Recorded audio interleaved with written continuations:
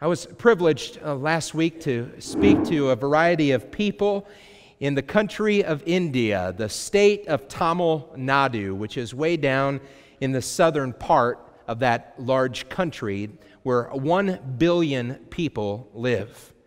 I got to visit the parishes of a pastor friend of mine who serves there, and he serves five different churches which is customary for a lot of Lutheran Indian pastors. And so they really put us American pastors to shame. And this pastor's Sunday schedule is as follows he has a, a 5 a.m. service, a 6 a.m. service, an 8 a.m. service, a 10 a.m. service, and then a 5 p.m. service. He was gracious and told me I didn't have to show up for the 5 a.m. service, uh, to which I gave him a hearty thanks. But he gets up and he goes and he preaches, but he said, according to India Standard Time, really those services only start whenever the pastor gets there. That's when they start. But of all of those different churches, it was great to be able to speak to God's children on the other side of the world. I don't know if you've had this experience before, but I spoke through a translator. And my translator this time happened to be my friend, Pastor Raji. I don't really trust Pastor Raji a whole lot. And yet I told the people, I have to trust him today. I have to trust him, but he has a lot of power in what he's saying because he would translate and I had no clue what he was saying. So I hope, I hope that the message got across. Well, today the message that is before us I'd like to focus on is one passage from 1 Corinthians chapter 1. And in 1 Corinthians chapter 1, Paul is, is talking to the people of God in the city of Corinth, people who were easily divided from one another. They were taking sides over different issues.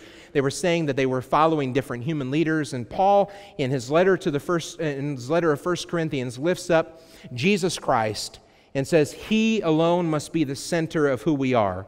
And in verse number 18 of 1 Corinthians 1, he says, The message of the cross is foolishness to those who are perishing, but to us who are being saved, the cross is the power of God.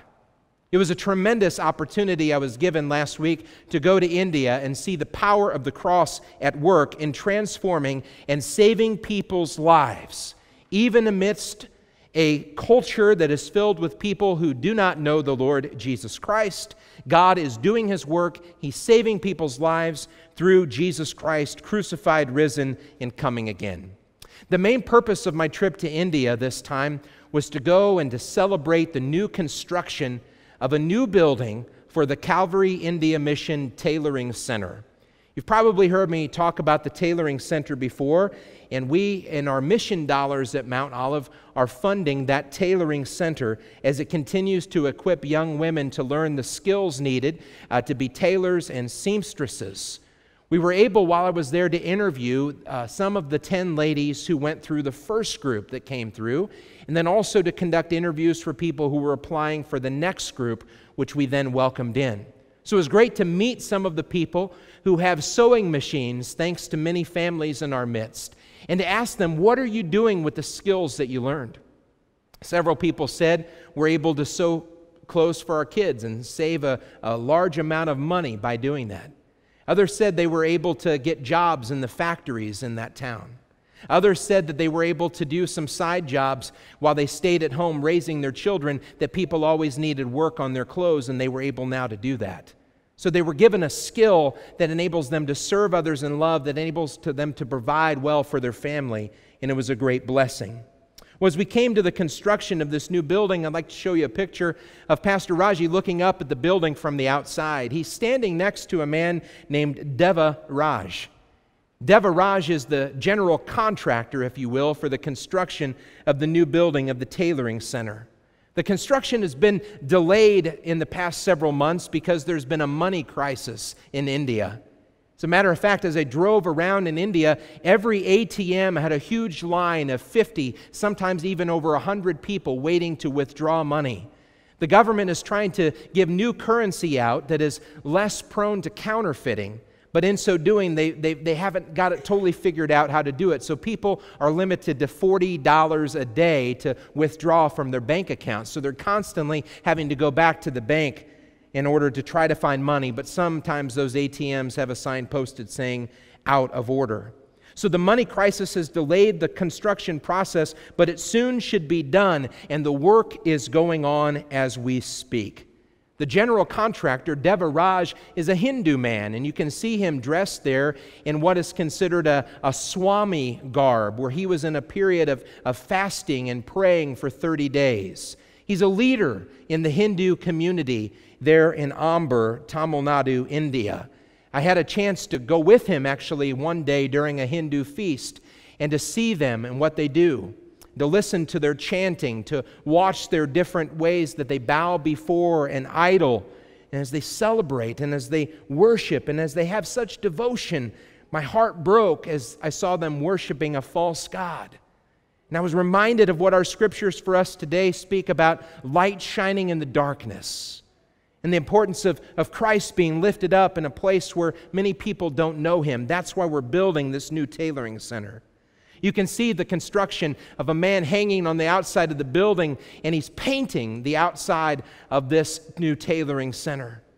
They love to have their picture taken as he's strapped there and harnessed there. He's painting the red. They asked me, What color should the, the, uh, the outline of the, of the structure be? And I said, Oh, clearly this color right here. And they don't uh, have a good word for it, but it was St. Louis Cardinal red. And so it looked really nice. Looks really good on this building. So they started painting this building as construction is taking place. And then you can see what it looks like in, in full here on the next picture. It's roughly about four stories high. And so the first floor is a, a, room where the tailoring students will be doing their work at their sewing machines and learning from their two teachers. The second floor is a place where mission teams will be able to go and stay in um, hotel type rooms with, with bathrooms and gathering area. The third floor, family quarters. And then the fourth floor is really just a, an open rooftop where the husbands have to go when their wives kind of kick them out to take a walk, right? But it's an open air rooftop from which, in this high structure, you can look out over the whole city. Pastor Raji, as he was meeting with the general contractor, Deva Raj, he said to him, he said, I know that you are Hindu and that many of the workers here in this building are Hindu, and I respect you and I know you respect me. But he said, I would ask that as you build this building, you won't take part in a bunch of, of Hindu traditions of different prayers and chants at different phases along the way. But instead, Christian pastors are going to come and they'll pray blessings over the doors and blessings over the rooms along the way. Because this, Pastor Raji emphasized, is a place for Christian ministry. This is a place where we are responding to Jesus' love. We communicated to that, that, uh, this to that man from afar. And when we got there and saw the building, we were surprised to see the addition that the Hindu, Hindu general contractor had made atop the building. Do you see it? It's a large cross. It's a large cross that stands atop this building, and you can see it from blocks away as people are driving through this town in India. They are seeing the cross of Christ lifted high as a reminder of what our life is all about Jesus Christ. You know, when we consider what God's Word says to us this morning about the cross of Christ being the power of God, we can view the cross like a lens. I went up to the top of the building and I looked out through that cross and was able through that cross to look out into the city. And what a reminder it is for us of how God first looks at us. That God looks at us through the lens of the cross. That when God, as our creator and as our Father above, looks at us, He knows us inside and out. He knows us with all of our weakness, all of our brokenness, all of our failures. And yet, when He looks upon us as people who have been clothed in the forgiveness of Christ, He doesn't see us because of our sin, He sees us because of his son and his forgiveness. That when he looks at you, he sees you covered in Jesus, who lived perfectly, who died sacrificially, and rose triumphantly for you. That the cross is the means by which God looks at his people. And so, if the cross is the lens through which God looks at us, maybe it can also serve as a lens through which we look at other people. The message of the cross is foolishness to people who are perishing, dying in their sins, but to us who are being saved, it is the power of God. What difference does it make in your life when you look through the cross of Jesus at other people? When you see another person, not as another person, but as another person for whom God gave the life of his son as another person whom God desires to come to Him through the forgiveness of sins and to know Jesus Christ for all eternity. The lens of the cross, God looks at you. The lens of the cross, you can look at someone else your spouse, your kids, your neighbors, your friends, your coworkers, your family members, anyone you meet through the lens of the cross. In India, I needed to remind myself of that wherever I went because people look at you differently when you look like me and you walk in India.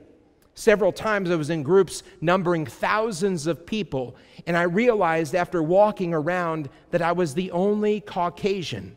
So you can imagine how people look at a guy who's about six foot one, pretty good sized, redhead. I, I, I might stand out, you could say. So sometimes people want to take pictures, other times they're staring, and then when I catch their glance, they look down. And then one guy who was uh, a shopkeeper this, this time around, as I was walking past his shop, tried to beckon me inside, as a lot of shopkeepers will do. And he said, Hey, big boss, come here, big boss. I said, Thank you, but no thank you. And I kept walking. But big boss, you know, I felt maybe I didn't belong. Did I belong? I belong among this group of people. But something hit me one night as I was there in what's considered a tuition center. You can see the, the picture in front of you is a group of children numbering between 30 and 40. They are kids who are impoverished, they're in pretty poor families. And what has been established for them at two different locations are called tutoring centers or tuition centers where they can get help five nights a week, Monday through Friday, from 5 p.m. to 8 p.m. And they're, they're supplied with a, a tutor who, who, who helps them with their schoolwork, who teaches them lessons so that they can learn the English language, teaches them stories and songs about the Bible and what Christ has done. And then at the end of the evening, feeds them a meal, usually rice based, and come along with an egg or another source of protein. I'm reminded of a a Tamil phrase that says, one will never go hungry by feeding too many people. And that's what we're seeking to do in India to feed people not only God's word that is for their souls, but also something that will help them in their lives, whether it's learning English or learning how to sew, that they might be equipped in both body and soul. As we stood there among this group of children this night, they had to stand up and recite things before Pastor Raji, who is the CEO and the founder of Calvary India Mission.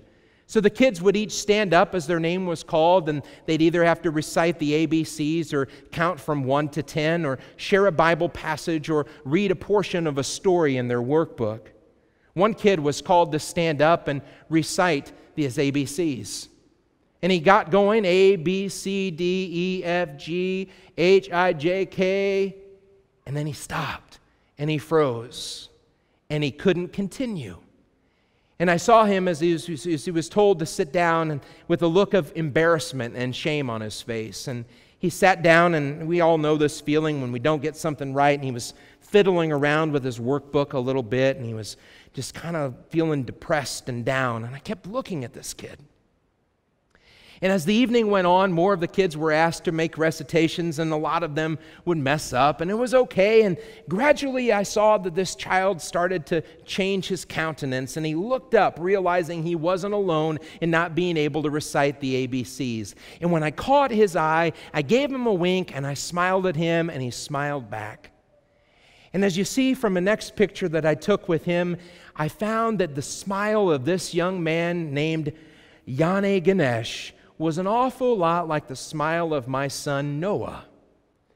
And so when I looked at this child who has a very different color of skin and a very different color of hair and a different kind of clothing than my son has, for the rest of the night I no longer saw Yane Ganesh, but I saw Noah. I saw my own child. And I have to wonder is that how God looks at us? That when we are looked at by God through the lens of the cross, He doesn't see us who look so differently from Him, but instead He sees His Son.